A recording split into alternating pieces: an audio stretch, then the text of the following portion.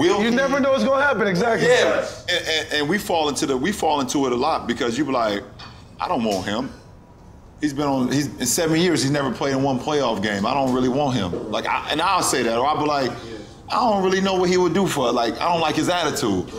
But it's like you never know because a change of scenery and a change of it, it, it could change a whole lot. Like for a guy, you know what I'm saying?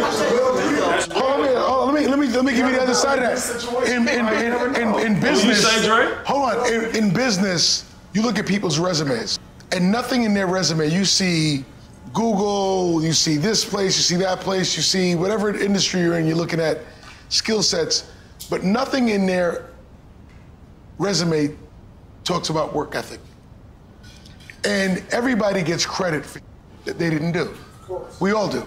That's part of the thing. You were part of a team, you're part of a thing. So, what role did you play in actually driving the outcome versus being a teammate of the outcome?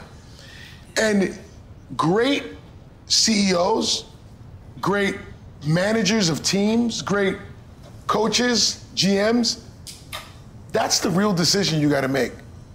Like, was it the guy or was it the environment the guy was in? Is he bad for our locker room or was he just bad for that locker room? It's a stout. It's a combination.